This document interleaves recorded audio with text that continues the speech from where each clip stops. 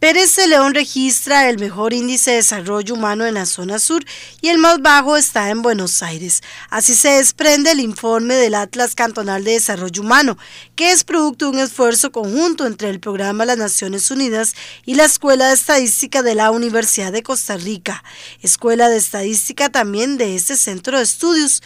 Este instrumento incluye datos sobre cinco índices de desarrollo humano en los 82 cantones del país, mostrando un mapa desigual e inequitativo en el territorio nacional, que se agudiza en zonas rurales y costeras. Veamos datos. El índice de desarrollo humano cantones de la zona sur. Pérez Celedón tiene 0, 743, es alto y está en la posición 38.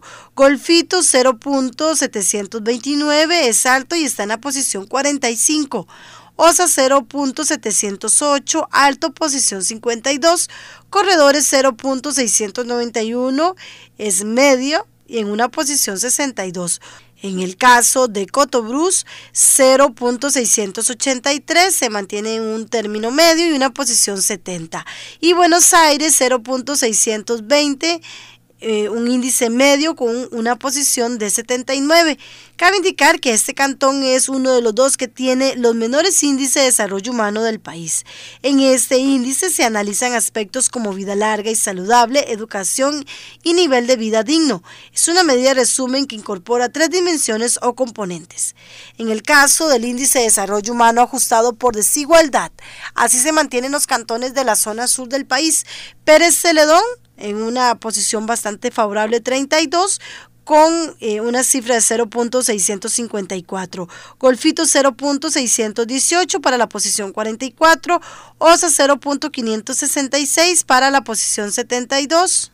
Corredores 0.602 para la posición 57, Cotobruz 0.558 para la posición 75 y Buenos Aires 0.516 para la posición 78.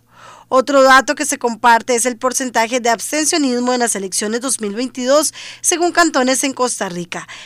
Estos son los datos. Pérez Celedón 40.7, un nivel alto. Buenos Aires 50.2, muy alto, Cotoruz 50.08, muy alto, Osa 52.5, muy alto, Corredores 54.5, muy alto y Golfito 56.5, muy alto. El Atlas del Desarrollo Humano Cantonal de Costa Rica 2022 está disponible a través de www.undp.org y consiste en una herramienta gratuita e intuitiva que permite consultar y descargar los valores detallados de cada indicador incluido en los cálculos.